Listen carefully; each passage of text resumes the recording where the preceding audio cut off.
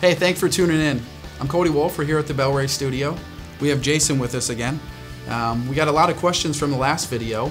The most commonly asked question was actually, hey, can you switch from mineral to synthetic oil? Or if you're not sure what you're using before, is it okay to run synthetic oil in your engine?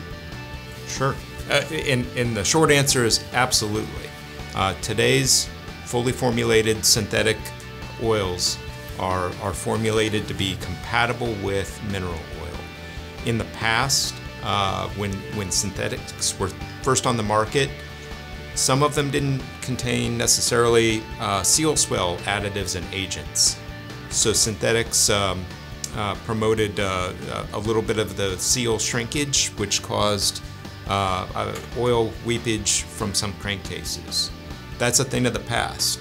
Uh, today's fully formulated oils have the seal swell additives and technology to prevent that. So it's it's not a not an issue going forward.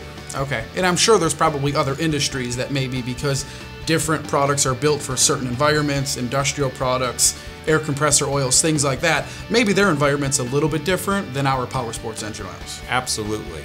Uh, you mentioned industrial oils, and some of the synthetic oils in industrial applications are not compatible and require a, a flush. Uh, but that's not the case in the power sports applications. These, these products are formulated to be backwards compatible.